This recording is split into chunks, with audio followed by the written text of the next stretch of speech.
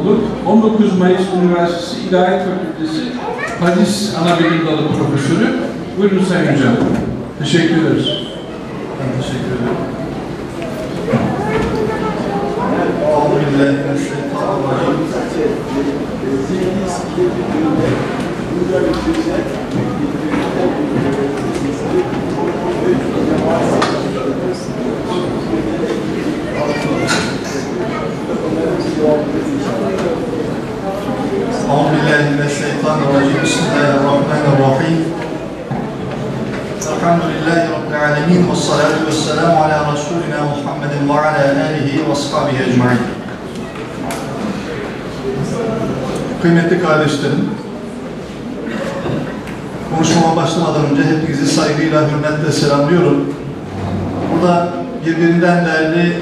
hocalarımız, hoca efendilerimiz konuştular. Onlar tabi e, merhum Ahmet Davutoğlu e, Hoca Efendi ile çok yakın dostlukları, arkadaşlıkları olan, hatıraları olan insanlardı. Hatıralarından, anılarından bahsettiler, yakınlıklarından bahsettiler.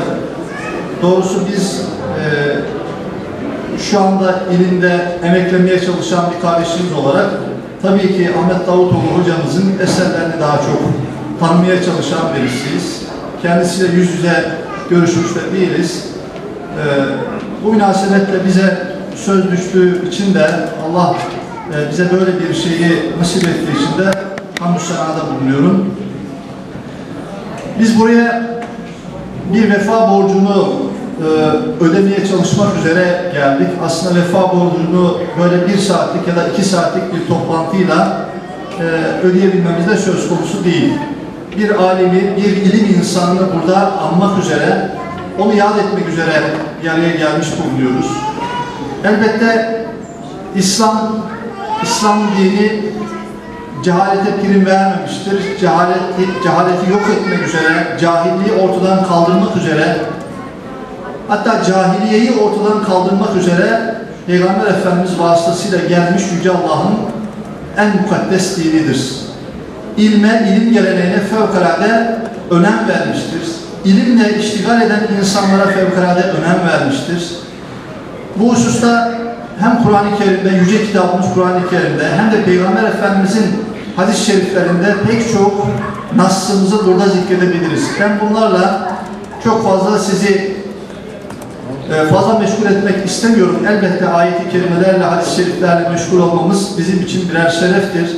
Ama biz şunu biliyoruz ki Kur'an-ı Kerim'in ilk emri Peygamber Efendimiz'e Hira mağarasında ilk geldiği zaman ilk emir ikra Bismi halaktır. İlk beş ayet bu şekilde gelmiştir. İlmin ne kadar önemli olduğunu, ehemmiyetli olduğunu biz bu ayette ve bundan sonraki Peygamber Efendimiz'in göstermiş olduğu gayret ve çabayla anlıyoruz. Alimlere ilme ne kadar ehemmiyet verdiğini biliyoruz. El ulema varasetül enbiya buyuruyor Peygamber Efendimiz. Alimler peygamberlerin varisleridir. Onların mesajlarını devam ettiren, insanlığa ulaştıran kimseler onlardır. Evet, bundan 14 asır önce Peygamber Efendimiz ruhunun ufkuna yürümüştür ama onun mesajını, onun insanlığa getirmiş olduğu o mukaddes değerleri taşıyan da alimler olmuştur. Biz kitabi bir dine mensubuz ama o kitabi dini bize taşıyan insanlar alimler olmuşlardır. Peygamber Efendimizin yetiştirmiş olduğu sahabe-i kiram efendilerimiz, onların yetiştirmiş olduğu tabi, tabi'in, tebe-i tabi'in, onlarla birlikte İmam-ı Azam Ebu Hanife Hazretleri ve biraz önce zikredildi İmam Şafiiler, Ahmet bin Hanbeller, İmam Malikler ve daha birçok insan bize bu ilmi taşımış güzide şahsiyetler. Şimdi hocamızın yapmış olduğu özellikle biz hadisle iştigal eden e, bir kardeşimiz olarak hadise daha çok hizmet ettiğini burada e, hoca efendilerimiz de ifade ettiler. Hadise yapmış olduğu hizmet hakikaten büyük olmuştur. Onun özellikle Müslim şerhiyle ilgili, Müslim tercüme ve şerhiyle ilgili yazmış olduğu eserin daha baş kısmında kendisi ifade eder. Türkiye'ye geldikten sonra Türkiye'deki gelişmeleri gördüğünde burada böyle bir eserin ya da bu eserlerin büyük hizmet vereceğini düşünerek böyle bir çalışmaya vesile olan insanlar var. Kendisinin yapmış olduğu bir çalışma var. Bundan dolayı hadise büyük hizmet ettiğini görüyoruz. Cumhuriyetten sonra yapılan çalışmalara baktığımızda özellikle meclis kararıyla yapılmış olan bazı çalışmalarımız var. Tefsir alanında Elmalı Muhammed Hamdi Yazır e, Allame'nin yapmış olduğu e, bu büyük insanımızın yapmış olduğu hak dini Kur'an dili bunlardan birisidir. Hadiste de Ahmet Naim merhum başlamış olduğu, Kamil Miras'ın daha sonra devam ettirmiş olduğu Tecdi Sarı tercüme ve şerhi e, ikinci sırada gelir. Daha sonra bakıyoruz Ahmet Davutoğlu hocamızın yapmış olduğu bu eser e, bu toplumu, bu toplumda yaşayan insanları aydınlatmaya devam ediyor. Bu eserin hakikaten e, bizim ilim camiamızda, özellikle bu Anadolu'da yaşayan insanlar olarak ilim camiamızda çok büyük kıymetinin ve değerinin olduğunu e, biliyoruz. Şimdi ben çok fazla işin teknik kısmına girerek sizi fazla sıkmak istemiyorum ama bu e, özellikle e, Müslim şerhiyle ilgili olarak e, bazı hususlara temas etmek istiyorum. Elbette bu öteden beri e, bizim ilim geleneğimizin içerisinde yer almış olan bir birikimin bizim toplumumuza yansımasıdır. Geçmişte pek çok alim insanlar hadisle iştigal etmişler. Peygamber Efendimizin bu o, mukaddes sözlerini e, tercüme etmişler. Bunlarla ilgili şerhler yazmışlar. Pek çok ilim dalı bu hadis ilmi içerisinde gelişmiş. Biraz önce bahsedildi. E, muhtelifül hadis ilmi gibi, müşkilül hadis ilmi gibi, esbab urudul hadis ilmi gibi, e, ricalül hadis ilmi gibi, e, garibül hadis ilmi gibi pek çok ilim dalları geliştirilmiş ve bu ilim dallarıyla oluşmuş olan pek çok güzide eserimiz var. Bunları tabii tek tek ben saymak istemiyorum ama işte bu büyük birikimi Anadolu insanının e, huzuruna çıkaran, Anadolu insanına sunmaya çalışan alimlerimizden birisidir Ahmet Davutoğlu Beyefendi. Şimdi bu eser e, şöyle bakıldığında kaynakları itibariyle en azından birkaç şey söylemem gerekirse kaynakları itibariyle hem e, İmam Müslim'in daha önceden bu eser üzerine yapılmış olan şerhlerinin kullanıldığını görüyoruz.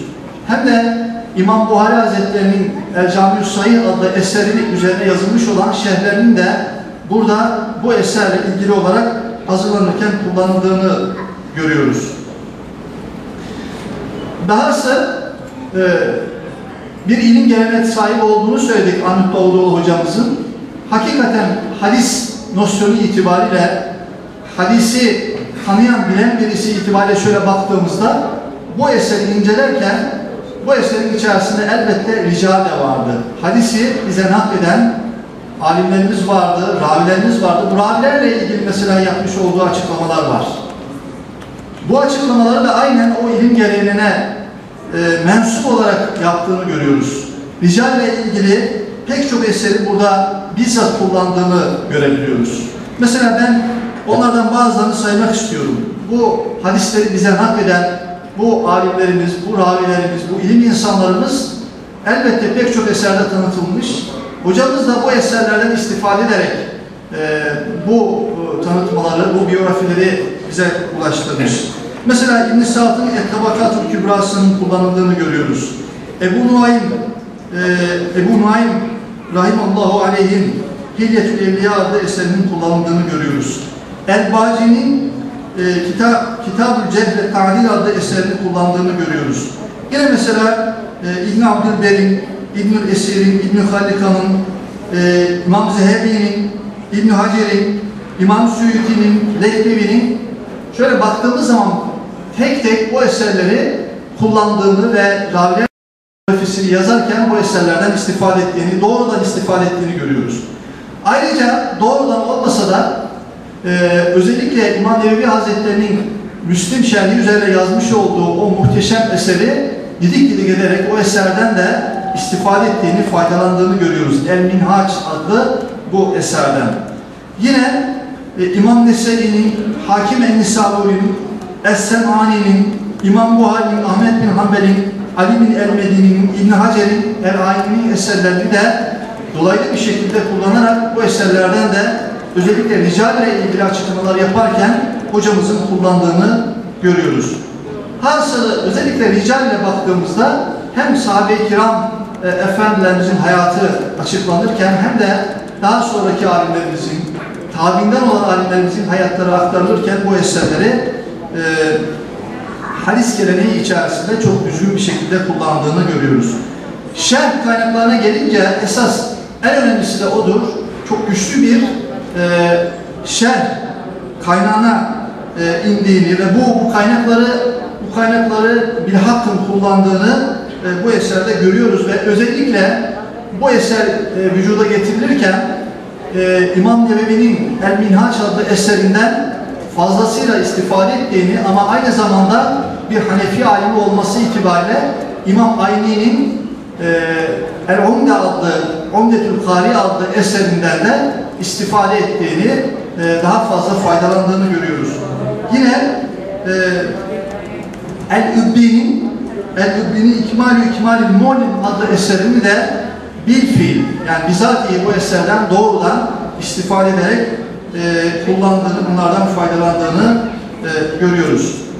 Tabii ki dolaylı olarak bu eserlerde geçen pek çok alimin de kanaatlerinin bu şerhi, şerhi oluştururken kullanıldığını da görmek mümkün. Şimdi biraz önce bahsettik, isimlerinden bahsettiğimiz Ahmet Naim e, Efendi'nin o Teclisari şerhinden faydalandığını, Elmalı Muhammed Hamdi Yazır'ın eserinden, Ömer Rıza Doğru'nun Asıl adlı eserinden de kaynaklarından istifade ettiğini, faydalandığını görüyoruz. Daha birçok e, burada ismini zikredebileceğimiz bu özellikle hadis ilmi dalında temayüz etmiş olan insanlardan e, Ahmet Davutoğlu e, hocamızın istifade ettiğini, faydalandığını e, görüyoruz.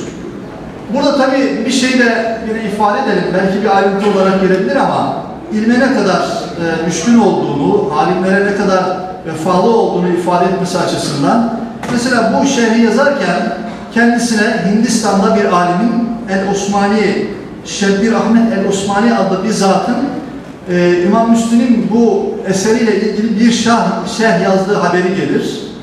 E, Tabi bu haberi alır almaz şerh çalışmalarına bir süre ara verir. Bu esere ulaşmak ister. E, Fethül Mülhim adlı bu eser daha sonra kendisine geldikten sonra da bu eserden faydalandığını, bu eserden faydalanarak yine çalışmalarına daha sonra devam ettiğini e, görüyoruz.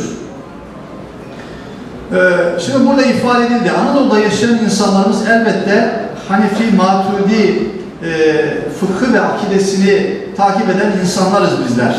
Ahmet Davutoğlu hocamızın da eserlerine şöyle baktığımızda bu eserlerde özellikle bu coğrafyada yaşayan bu insanların e, hem fıkhi kanaatlerini hem fıkhi yaşantılarını hem de akidevi e, temayüllerini dikkate alarak bu eseri daha çok Hanefi imamlarımızdan, Hanefi alimlerimizden e, faydalanarak yazdığını biz görüyoruz. Aslında şöyle bakıldığında İmam Nevevi e, Şafii mezhebine mensup alimlerimizden birisidir. Ondan da bir taraftan istifade etmiştir ama özellikle e, bu hususta bir kanaat ortaya koyacaksa El-Ayni gibi e, Hanefi alimlerden daha fazla istifade ettiğini bu şerh çalışmasında görüyoruz. Şimdi kaynaklarını bu şekilde istifade ettikten sonra daha anlaşılır olması itibariyle şerhte kullanılan yönteme de birkaç cümleyle ifade etmek istiyorum. Hocamız elbette bir ilim geleneğine mensup olması itibariyle geçmişteki o alimlerimiz çok büyük sayısı olan bir zattır. Hani biraz önce de ifade edildi, biz acaba böylesi ağır bir yükümlülüğün altından kalkabilir miyiz diye önce tereddüt etmiş, daha sonra da bu görev kendisine tevdi edildiği için bu görevi yapmak durumunda kaldığını ifade ediyor. Bu eserin ön sözüne şöyle baktığımız zaman bu işin hakikaten bir cüretkarlık olduğunu da söylüyor. Büyük bir tevazu insanı, e, bu eser esasen benim bir eserim değil diyor. Bu, ben burada alimlerimize söz hakkı verdim. Esas burada söz sahibi olan, bu eserin sahibi olan bizim alimlerimiz diyerek de kendi tevazusunu, kendi mütevaziliğini burada ifade ediyor. Dolayısıyla şöyle şerhteki metoduna baktığımız zaman, usulüne baktığımız zaman bize hemen bu ifadeler birer ipucu veriyor. Aslında kendisi daha çok konuşmak yerine geçmişteki o büyük alimlerimizi konuşmayı yeğlemiştir. Bu büyük bir iştir. Yani bugün hani biraz önce bahsedildi bizim ilahiyat camiamızda dini ilimlerle ilgili çalışma yapan insanlarımızdaki enaniyet dikkate alındığında maalesef öyledir. Yani Ahmet Davutoğlu hocamızın bu kadar büyük bir tevazu göstermiş olması hakikaten takdire şayan bir durumdur. Ve çoğu zaman da özellikle yaşadığımız e, ilim hayatına baktığımızda müştehit insanların neredeyse az hatta yok denebilecek kadar bir düzeyde olmasına dikkate alarak geçmişteki alimlerimizi konuşturmuş olması hakikaten son derece manidar. Peygamber Efendimizin hadis-i şeriflerinin güncel bir dille bugünün insanın anlayabileceği şekilde bunu da sunulmasıdır. Kullanılan dile baktığımızda bu insanımız elbette Osmanlı'nın son dönemlerini yaşamış. Hani öyle diyebiliriz en azından ilim geleneği itibariyle. Ama kullandığı dilin son derece sade, özellikle ilahiyat camiasında eğitim, öğretim gören e, talebelerimizin yahut İmam camiasında öğretim gören talebelerimizin son derece rahatlıkla anlayabileceği bir dili seçtiğini de görüyoruz. Burada tabii güncel meselelere çok fazla temas etmediğini de burada ifade etmeliyiz. Ancak bu iş temas etmediği anlamına gelmez. Birçok örnekler burada ifade edilebilir. Ee, mesela fitnelerle ilgili, e, Allah'ın kullarına azap edip etmemesiyle ilgili bir takım meselelerde, özellikle kadınlarımızın tesettüre riayet edip etmemesiyle ilgili hususlarda çok önemli uyarılarının da bu eserde olduğunu görüyoruz. Mesela geçmişte e, bu merhum Hoca Efendi'nin işte eğitim gördüğü eserde hocamızın da e, hani e, orada beraber bulunduğunu ifade ettiği orada Muhammed Abduh'un böyle yenilikçi fikirlerle tanınan bir insandır. Orada Kadir Gecesi ile ilgili e, yani bazı aykırı kanaatlerine eser ulemasının vermiş olduğu cevapları e, burada kaydederek ne kadar isabetli olduğunu da ifade etmiş olması yine güncel meselelere temas ettiğini bu şerhte bize gösteriyor. Yine mesela bir husus halen bugün bile yani bazı cenahta e, tartışılmak istenmiyor. Kazan namazlarıyla birlikte acaba sünnet namazları kılınır mı diye hocamızın bu işte Bulughul Meram adlı eseri tercüme ederken ifade ettiği kanaatlerini daha sonra bu eserde de zikrettiğini görüyoruz. Kaza namazlarıyla birlikte sünnet namazları da elbette kılınmalıdır. Hatta bundan hiç ödül verilmemelidir diye bu meseleyi de orada özellikle bu kanaatinin arkasında olduğunu daha sonraki eserlerinde de e, görüyoruz. Hatta burada kıyamet ahvaliyle ilgili, kıyametin alametleriyle ilgili bazı hususlara temas ederken Peygamber Efendimizin hadis-i şerifinde e, ifade edilen yani Arap Yarımadası'nda bir yerin batması yani yerin dibine geçirilmesiyle ilgili bir meseleyi burada izah ederken çok enteresan e, güzel bir yorumu var. Ben onu okumak istiyorum. Diyor ki orada Allahu alem bugün Arap Yarımadası'nda bol miktarda fışkıran petrol buna işaret olsa gerektir. Çünkü çıkarılan muazzam miktardaki petrolün yerinde pek büyük boşlukların açılması tabiidir. Binaenaleyh bu hal hadis-i şerifte haber verilen yer batmasının bir işareti olabilir diye yani böyle bir kanaatinin de e, bulunduğunu görüyoruz. Bu da meseleleri en azından bugünün insanın anlayabileceği şekilde izaha e, gayret ettiğini göstermesi itibariyle önemli olsa gerektir. Şimdi tabii daha birçok şey söylenebilir burada. E, ama şunu söyleyelim, bu geçmişteki alimlerimizin o altın zincirine ne kadar bağlı olduğunu biz görüyoruz. Eğer bir kanaati varsa bu kanaatinin geçmişten mutlaka destekli olduğunu, kaynaklara bağlı olarak mesela burada izahlar getirdiğini de burada şerh metodu olarak, şerh usulü olarak ifade etmek durumundayız. Son bir husus, e, bu şerhte kullanılan dille ilgili olarak, şerhte kullanılan dil biraz önce de ifade ettik. Hakikaten hem Arapçaya hem de Türkçe'ye ne kadar hukufiyet sahibi olduğunu biz görüyoruz. Bu çalışmayı baştan sona kadar okuyan insanlar buna ne kadar e, hak verecekleri ortada. Şöyle bir hususu da bu da bir hatıra olarak bizim kendi yaşadığımız bir hatıra değil ama eserde bazen okuyan kimselerin çok nadir de olsa, çok az da olsa anlamakta güçlük çekebilecekleri hususlar olabilir. Burada da hocamız bu eseri yazarken Osmanlıca, daha doğrusu Kur'an alfabesiyle yazmış. Fakat bu tabi yayın evine verilirken talebeleri tarafından latinize ederek yani daktiloda yazılmış. Bu esnada özellikle bu daktilo eden kimseler yani onu Osmanlıcadan e, latinize e, eden kimselerin bazı hatalarının küçük de olsa e, olabildiğini burada görmek mümkün. Bu asla esere herhangi bir gölge düşürecek durum değildir. E, bunu da en azından hatırlatmak istiyoruz. Yani Osmanlıca yazılmış, daha sonra da e, Latinize edilmiş e, bir çalışmanın olduğunu e, burada e, görüyoruz.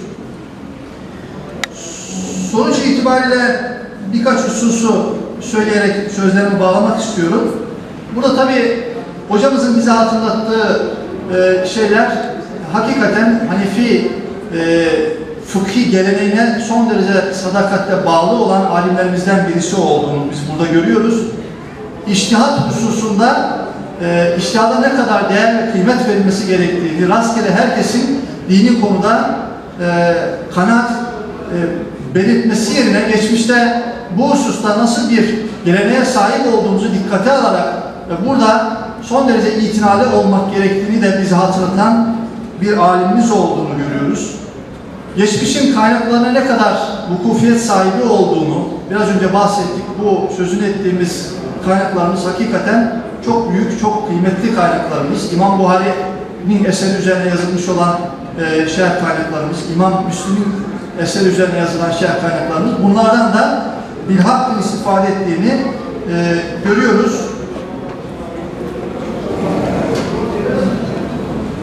Burada tabii güncel meselelerle ilgili olarak da yine hocamızın çok yetkin bazı açıklamalarında e, görebiliyoruz. Son olarak bu eserden daha güzel istifade edilmesi adına daha sonra e, bir araştırma merkezi e, bünyesinde bir arkadaşımız hocamızın bu eserden daha güzel bir şekilde istifade edilsin diye bir fihris çalışması da yapılmış. O da tabii burada e, kayda değer bir çalışma. Bunu da e, hatırlatmak istiyorum. E, hasılı e, inşallah e, Yüce Mevla bu gibi güzel insanları bundan sonra da yetiştirmeyi bu millete nasip eder. Ee, inşallah güzel insanlarla karşılaşmayı bizlere nasip eder diyerek sözlerimi burada bitirmek istiyorum. Hepinize saygılar sunuyorum. Allah hepinizden razı olsun.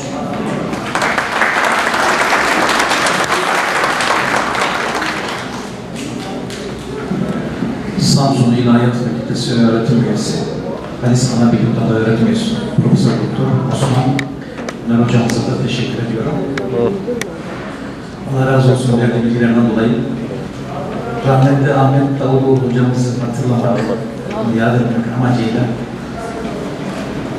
Emin Saraç hocam, Enver Baytın hocam, Osman Güler hocam, evet, Cevat Akşit hocam ve Ümit Doğan Arıç hocam teşrif ettiler. Buraya kadar zahmet. Allah razı olsun. Programı Kur'an-ı Kerim ve duayla kapatacağız inşallah. Ee, bir söz ver. Sadece ona söz verelim yaşlı amcamıza. Söz verelim.